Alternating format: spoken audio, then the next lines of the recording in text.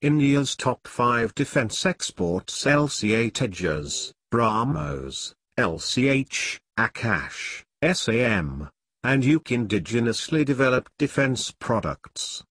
Defense Minister Manohar Parrikar has set himself a target. He wants India's defense exports to reach $2 billion in the next two years, from the current level of $300 million. Indigenously developed defense products, be it India's missiles, aircraft or helicopter, have generated interest in the global market, especially from African and Latin American countries. From HAL's light combat helicopter and LCA Tejas to BrahMos missile, we take a look at five defense products that India can look at exporting. According to a PTI report, India is in talks with certain countries in Africa for possible export of the indigenous light combat helicopter, LCH. LCH is a 5.5-ton class combat helicopter designed and developed by HAL.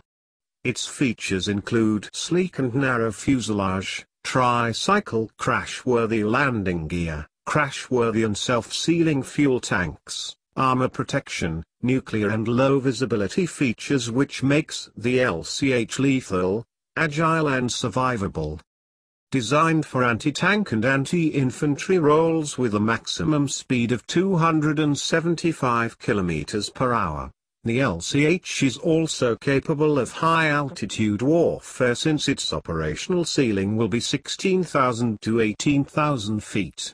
With great value for money, the helicopter is an attractive buy for many countries. The countries interested in the LCH in the current form do not need high features like air-to-air -air missiles. For them turret gun along with some other features work, a senior defense official has said. The MTCR point of contact in Paris conveyed the decision regarding India's accession to the regime through the Embassy of France in New Delhi. India and Russia have agreed in principle to export the world's fastest anti-ship cruise missile, BrahMos, to UAE, Vietnam, South Africa, and Chile.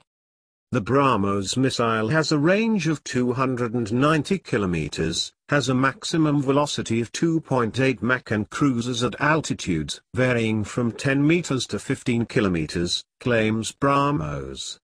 It can be launched in either inclined or vertical configuration based on the type of the ship. India's Light Combat Aircraft, LCA, Tejas, which was several years in the making, has now caught the attention of foreign buyers with Sri Lanka and Egypt evincing interest in the indigenously built fighter jet. Sri Lanka had recently rejected Pakistan's JF-17 aircraft built with Chinese help while Egypt had last year signed a contract for 24 French-made Rafale fighter jets.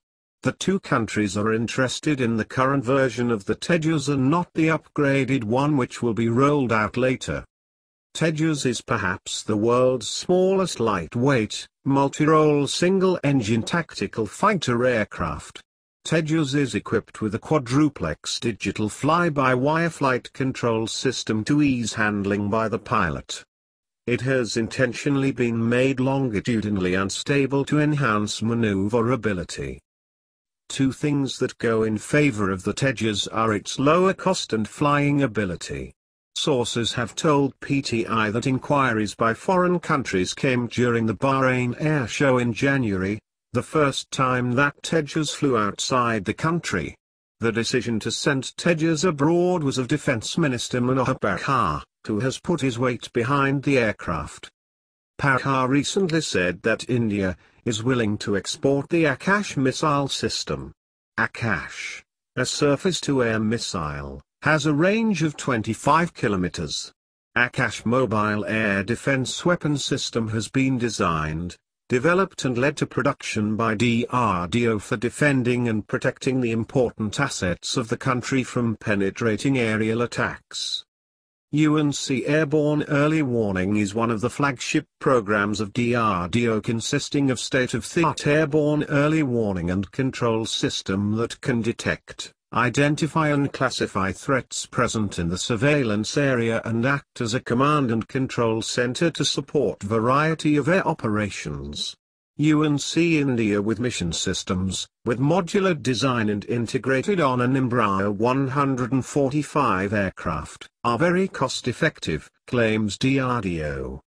With an eye on export, the DRDO had exhibited the plane during air shows in the past from agencies. Thank you for watching.